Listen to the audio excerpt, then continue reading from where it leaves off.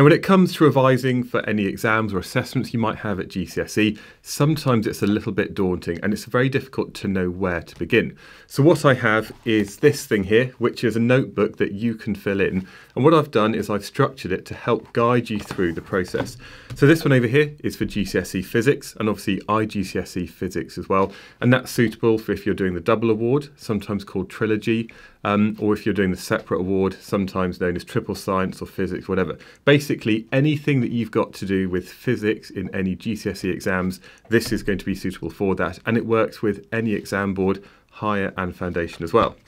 Now, um, I suppose what I've got here is uh, ways for you to kind of sort of put down some important information, um, information about your exams. And actually, when you buy the guide, um, I've filled in some of the pages to kind of show you how to use it.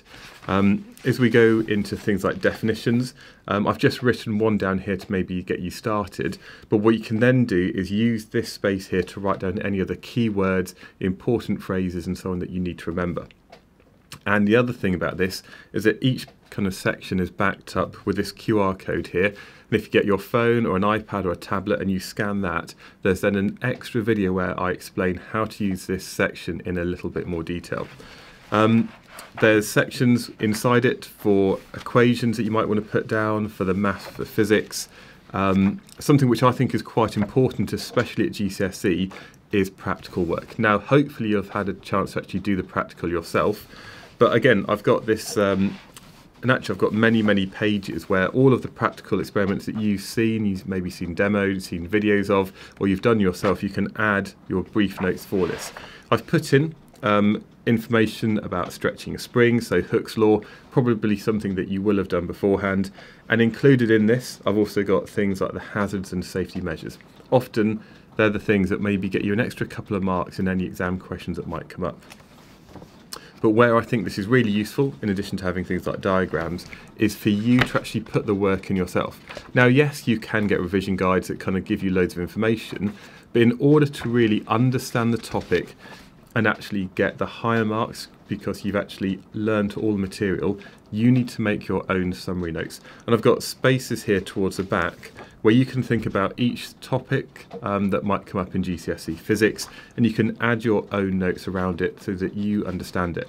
And again, I've got an example in the notebook, but really this is how you can revise. It's not a case of reading revision guides, it's not a case of just watching some of my videos, it's actually about you going through the process, of trying to get all of that information into an easily understandable form that you can then use for your own revision. So this is my GCSE exam revision notebook. I also have one for A-level uh, physics as well. This one's a little bit bigger.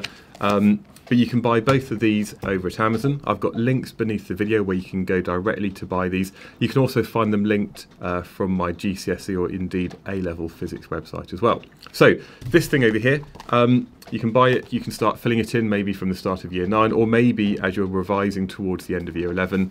Um, but it's just a great handy way to make sure that all of the key important bits of information that you've learned about in the course are all contained in one place rather than just having kind of random folders, bits of paper all over the place. So this is my set of exam revision notes for GCSE and IGCSE physics. Thank you.